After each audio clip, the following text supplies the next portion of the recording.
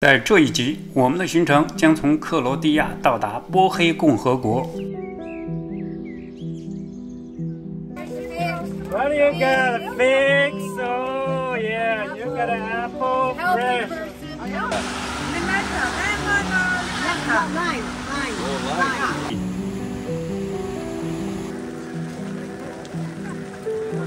How far is your school from here? Very far.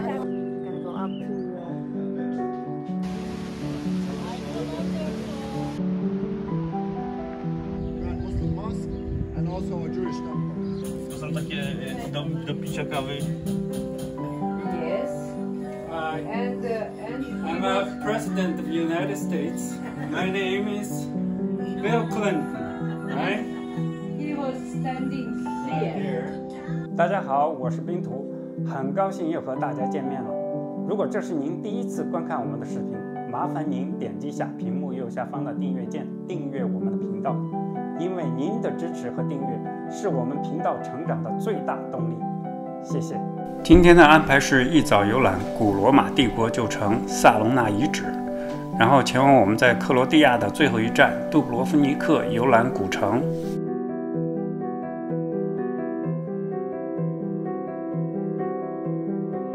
我们的酒店就在萨隆纳遗址的旁边，步行两分钟就到了。早上吃完早饭才八点多，我独自一人先来到遗址逛了一圈。没有看门的人，显得特别冷清，但是景色却是很美的，空气也不错。等客人们都准备好了，我又和他们来到了遗址。这时候已经十点了，遗址的大门同样敞开着，仍然没有看门的人。我们就径直在遗址里游览起来。现在这里看起来是一片废墟，何曾想一千八百多年以前却是非常繁华的。作为古罗马帝国当时达尔马西亚省省会城市，这里有可以容纳一万八千人的竞技场，供观众观看决斗士们的表演。当时基督教还不算合法。前一集里提到的圣多蒙尼厄斯主教，就是在这里的圆形竞技场被当众处决的。如果对古罗马帝国的历史感兴趣，这座遗址是我们强烈推荐的。游轮客人上岸游览的景点通常是不包括这里的，所以没有啥游客。我们在这里的一个多小时里，就只看到了除我们之外的不到十个人。门票在这里好像也成了可选项。如果我们不参观遗址里面的小博物馆，都不知道那里有售票的人。最后我们买了门票，八欧元一人。萨隆纳始建于公元前三世纪，大约就是中国的周朝末期、秦朝建立之前。城市建立之后，很快就成了古罗马帝国的主要贸易、文化和政治中心。古罗马帝国的国王戴尔克雷西安也出生在这里，但是在他退休之后，他在现在的斯普利特给自己修了一座宫殿，然后搬离了萨隆纳。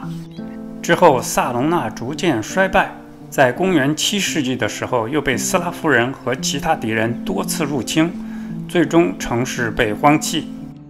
大约一小时后，我们离开了遗址，前往下一个目的地杜布罗夫尼克古城。路上一直下着雨，路过好多村落，看到路边不少卖农产品的，就随意选了一家停了下来，看到底在卖些什么。我们发现他们卖的农产品大多都不是他们自己家出产的，所以价格不算便宜。不过既然停了下来，还是打算给当地的农民做些小贡献。语言不通，就买个热闹吧。快到杜布罗夫尼克的时候，路过了一座现代的跨海大桥，看起来比较壮观。后来从当地导游得知，这是一家中国的桥梁公司修建的，只花了两年时间就修好了。在他的眼里，那就是神速。如果是他们自己国家的公司，起码要五年以上。杜布罗夫尼克古城的游览从堆门开始，沿着古城主街在雨中漫步。两旁的中世纪古建筑显得非常好看。自从2011年美国火爆一时的电视剧《权力的游戏》上映之后，杜布罗夫尼克古城变得世界闻名，因为这里是电视剧的主要拍摄地。我们导游也在剧里扮演了一名士兵，他还特意给我看了他的剧照，英姿飒爽。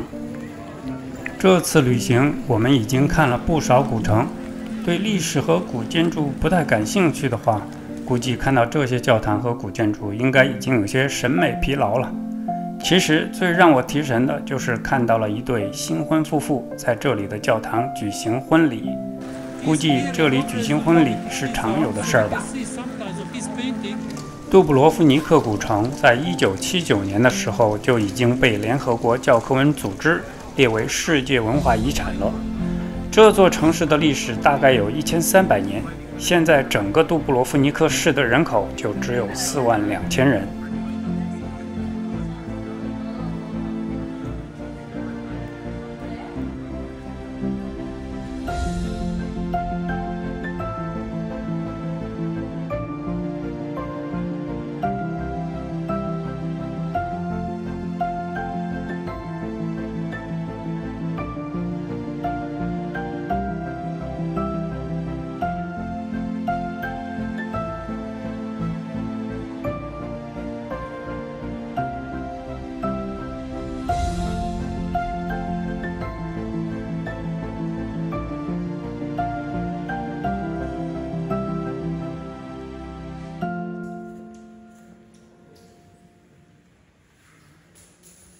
结束了教堂的游览，我们来到了普洛切门，这是古城最著名的两座城门之一。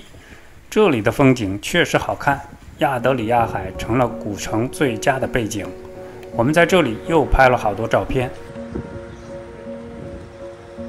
今晚我们住的酒店五星级的皇家蓝酒店就坐落在海边，酒店的大堂颇有气势。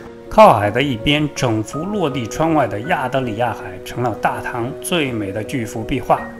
酒店里有三个用餐的餐厅，我们选了皇家天台餐厅吃晚餐。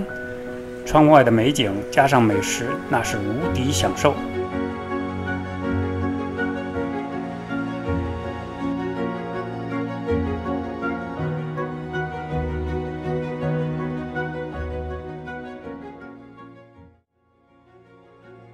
餐上齐了，又忍不住开始拍照。拍照的好处之一就是永远对当地当时的美食记忆犹新。不过现在看不是好事情，因为我点的舒芙蕾确实太美味了，肚子又开始咕咕叫了。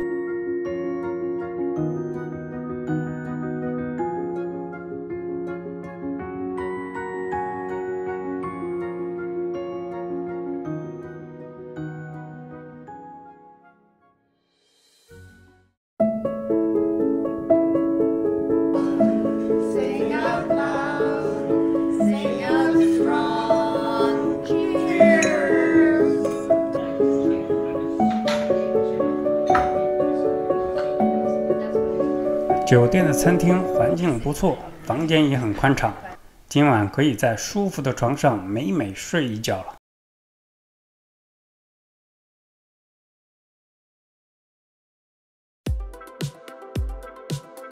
旅程的第十天开始了，早上起来又是享用酒店美味早餐的时候了。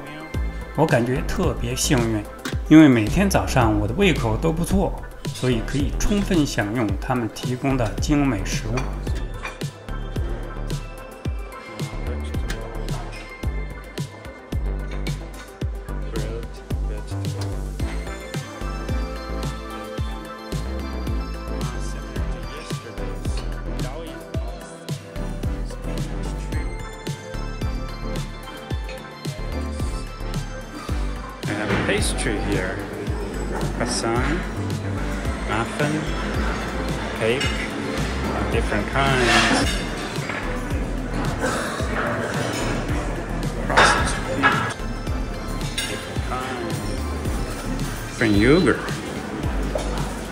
Ooh, how many?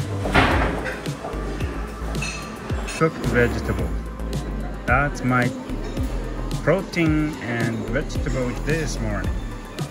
And got cappuccino and fruits. 刚刚吃的这个肠子呢就比较硬，它是那种很有嚼劲的。 嗯。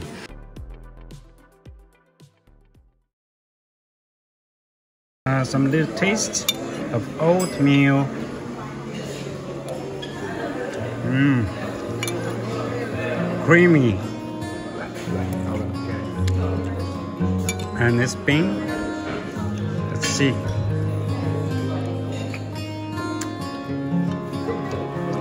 Very good, very good. 马上就要离开杜布罗夫尼克了。吃完早餐，我就利用短暂的时间，在这座度假酒店溜达了一圈儿， 吹吹亚得里亚海的海风，看看海景，算是给我们的克罗地亚游画上了一个完美的句号。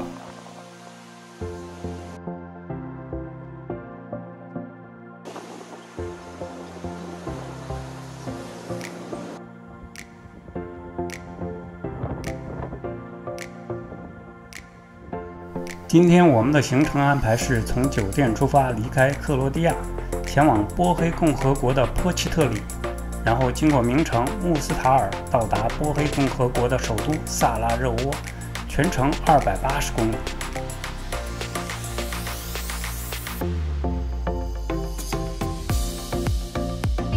on our way to Bosnia.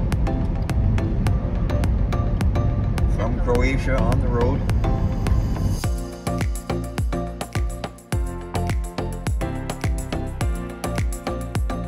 到达波奇特里的时候，第一个迎接我们的主人是一只可爱小猫，不过它不太热情，连个猫字儿都不说，就迅速离开了。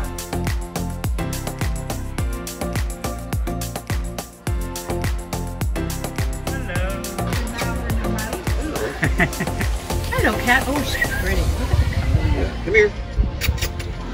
在古堡的时候，我们还遇到了一群春游的学生，感觉生机勃勃。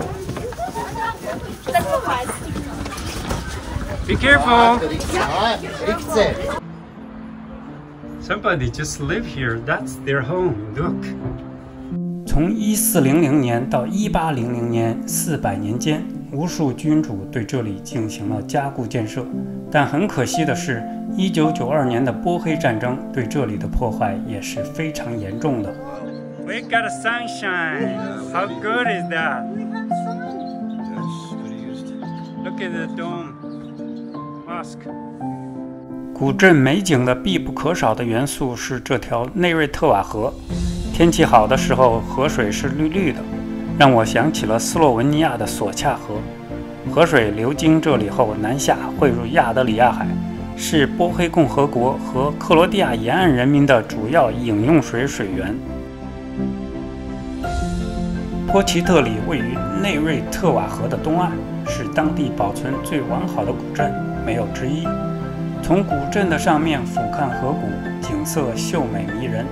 这就是为什么这里成了波黑最吸引游客的景点之一。我现在站的位置差不多是城堡的顶部了。从残破的城墙上的小孔，我可以想象七百年前士兵们是怎样利用这个制高点来掌控河谷里的主要贸易通道的。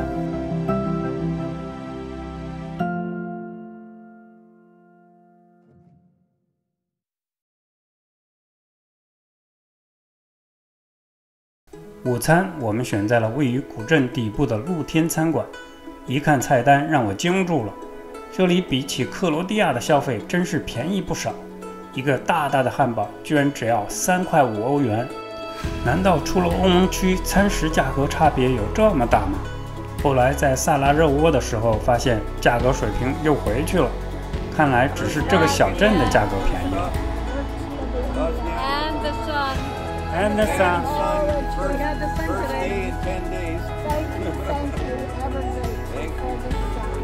Cheers, cheers. Cheers. 穆斯塔尔位于波奇特里以北大约三十公里的样子，是黑塞哥维纳的古都。这里最著名的景点就是横跨内瑞特瓦河的老桥了。这座桥因为是巴尔干地区最为典型的有伊斯兰建筑特征的桥梁，所以在2005年的时候被列入世界文化遗产名录。同样遗憾的是，这座桥在波黑战争的时候被完全摧毁了。现在的桥是2004年才重建完成、投入使用的。这座桥名气大大，还有另一个原因，就是世界悬崖跳水赛在这座桥上设立跳台已经八次，最近的一次是2023年9月9日。看图片就知道，那是盛况空前的比赛。Look at this color of the river. That's uh, amazing, amazing.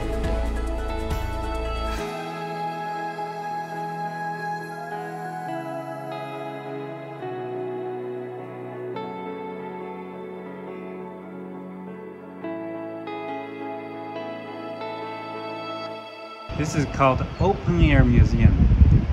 It's in memory of the, those people who fought in World War II in 1943 between March 1 to March 7th. 在到达萨拉热窝之前，我们还在加布拉尼察露天博物馆停了停。这是专门为纪念二战时期在这里牺牲的勇士们而建的。落在水里的断桥成了这里的标志。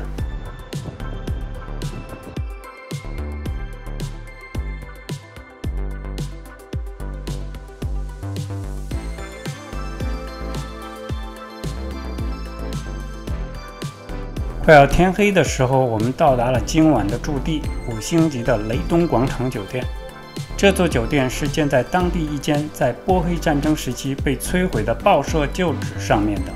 进了酒店，巨大的前厅左侧的墙上是酒店在建前后不同时期的照片，看起来确实令人伤感。Here, this is the hotel, how it was rebuilt after the bomb. Um,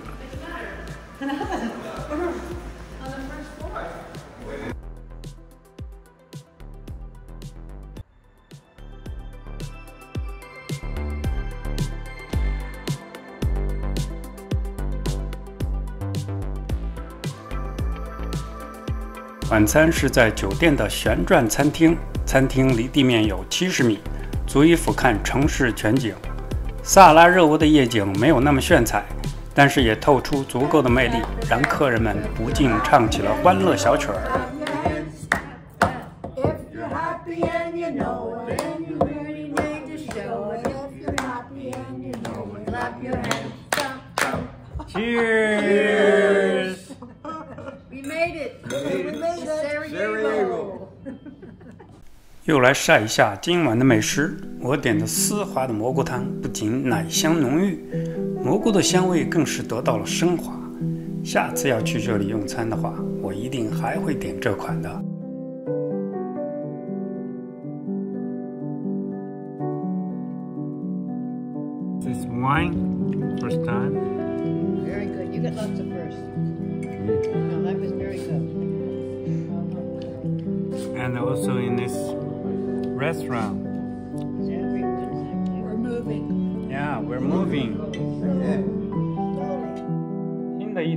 始了，同样享用了美味的早餐，保证一天精力充沛。今天的目的地就是萨拉热窝的老城区。七十年代，一部来自前南斯拉夫的电影，名叫《瓦尔特保卫萨拉热窝》，当时在中国是火到人尽皆知。萨拉热窝这座城市的名字也同时深深地刻在了那时中国人的记忆里。Here we come. 萨拉热窝最让全世界记忆深刻的，却不是因为它的名字，而是在这个老城区有一个特定的地点。就在这个地点，触发一次世界大战的导火索事件发生了。今天我们就来到了这里，看看一百一十年以前这里到底发生了什么。这个事件就是当时奥匈帝国既定王弗朗茨·菲迪南大公和他的妻子被谋杀了。他们当时被谋杀时乘用汽车复制版就展示在这里。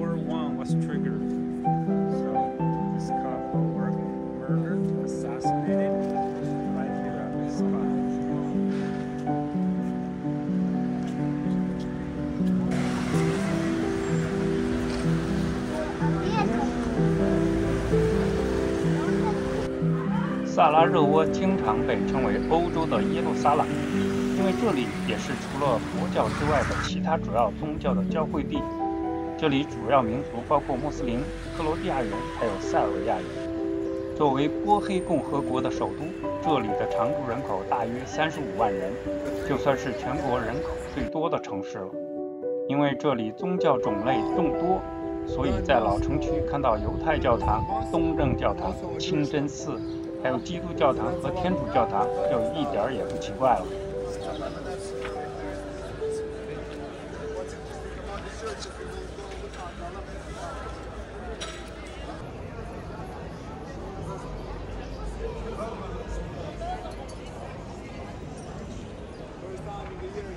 巴斯卡尔西亚是萨拉热窝最老的城区，这里有从奥斯曼帝国就开始兴盛的集市，极具土耳其特色。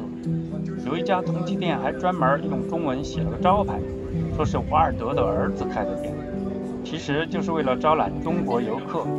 虽然波黑共和国对中国人免签，但是在这里我并没有看到什么中国的游客。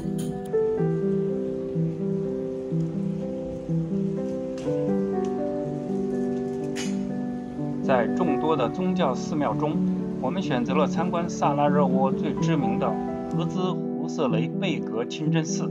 它是该市最大也是年代最久的清真寺，建于大约五百年以前，是巴尔干地区最有代表性的奥斯曼帝国。This is the first bath in Europe built in Ottoman Empire for men.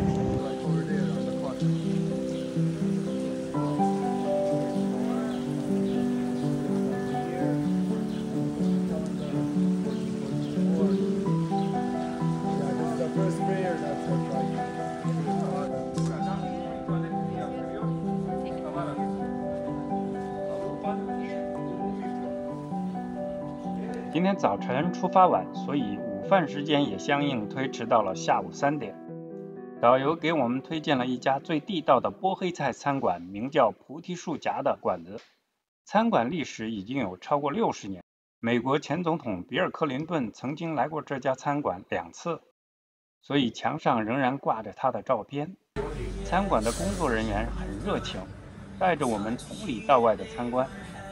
餐馆的环境的确不错，装修温馨雅致。今天天气很好，室外就餐更是让人愉悦。 Oh, you changed. Oh, this this room, huh? That's a big restaurant, huh? That uh, was uh, uh, first time he just uh, came. It, that was not official. Oh, okay. Second time he came here, there was uh, one big table, Yeah. ten people with, the, Oh, with the okay. So this room, right? Yes, Oh, because okay, that got is it. a very safe room. Wow. Yes, painter. He's uh, the uncle of the. Yes, Hi. and uh, and I'm was, a president of the United States. My name is Bill Clinton, right? he was standing Right here. here. The owner gave him as a present this uh, picture. I'm about 30 years. 30 years. It's I older was than very me. young when I come. So what's the restaurant's name? uh, the the name of restaurant is under the Lipon tree Oh, okay. So, so because yeah, this on this yeah. here this wall was a very big 120 years old Lipon tree. Oh, very really? like a house. During uh, the war, uh, the grenade from aggressors uh, hit the the Lipon tree, Yeah. and after after the war, uh, we have to cut it because of uh, of that. The And- tree is damaged. And uh, we we gave uh, the name of restaurant uh, as a memory. 餐馆不仅环境好，最根本的还是菜确实做得好。它是我们这次旅程中吃过的最好的四家餐馆之一。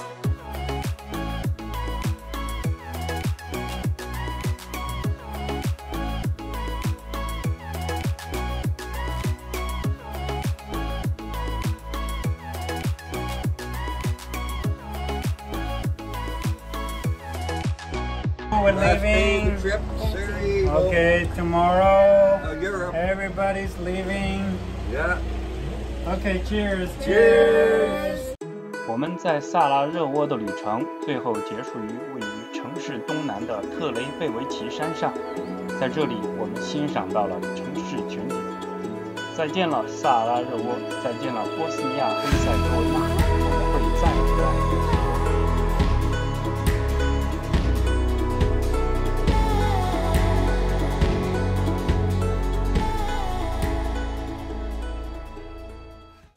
十分感谢您观看我们的视频，请别忘了订阅我们的频道。我们下次再见。